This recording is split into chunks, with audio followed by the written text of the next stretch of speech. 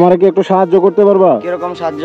এই যে আমার বাইকের তেল শেষ বুঝছ? আমার একশো টাকা দিতে পারবা? আমি পরে দেখা হইলে দিয়ে দিলাম। একশো টাকা দিলে হইবো, লাগলে আর বেশি নিবার ফাইন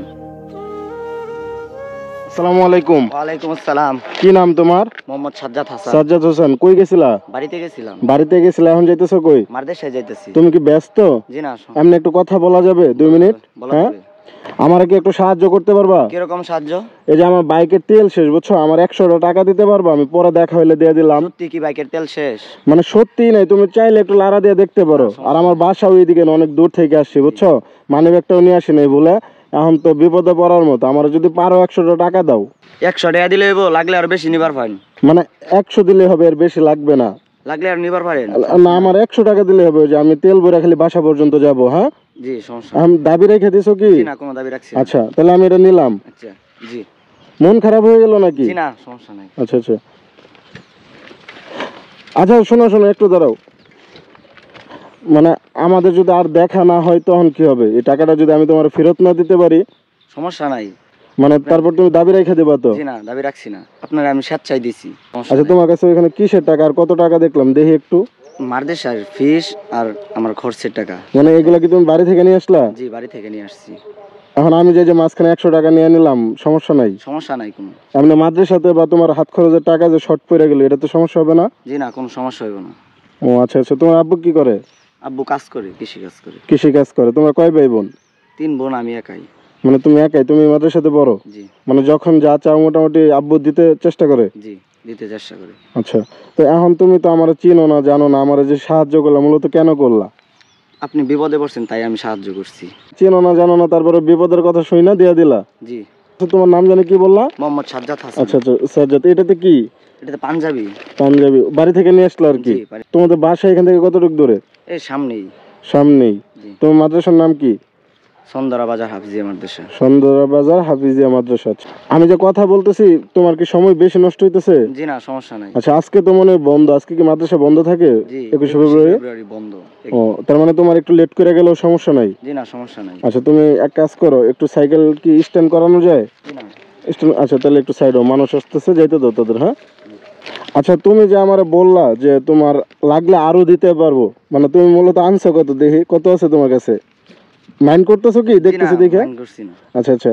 তিনশো চল্লিশ টাকা আছে। মানে আমার দিছে একশো। তো আনছিলা কত? চারশো চল্লিশ। চারশো চল্লিশ আনছিলা। এখন আমার কত হইতেছে তুমি লাগলে আরও দিতে পারো। তোমার ফিস কত?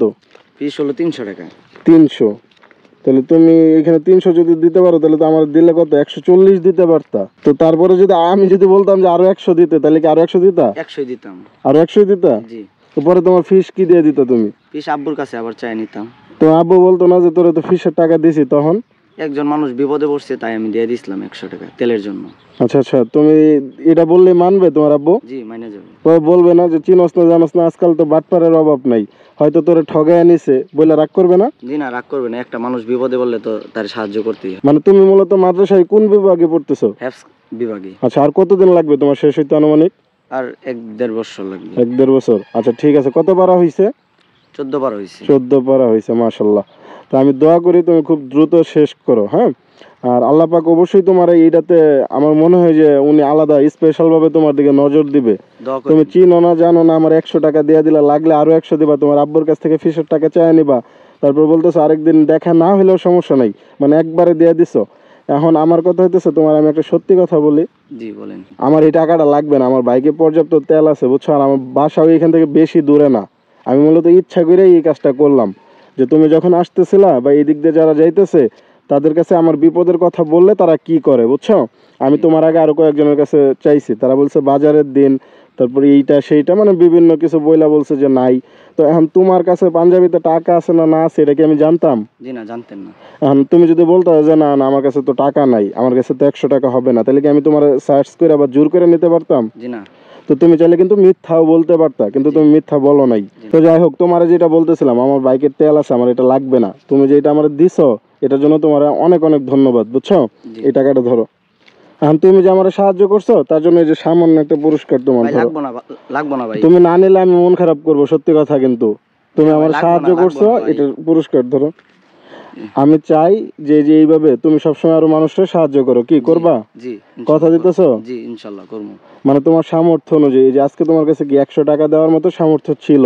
এর জন্যই তো তুমি দিছো। জি। তো এরপরেও মানে এইভাবে তুমি যতদিন বেঁচে থাকবা দেখবা যে এরকম অনেক রকম বিপদ আপদ মানুষের সামনে আসবে।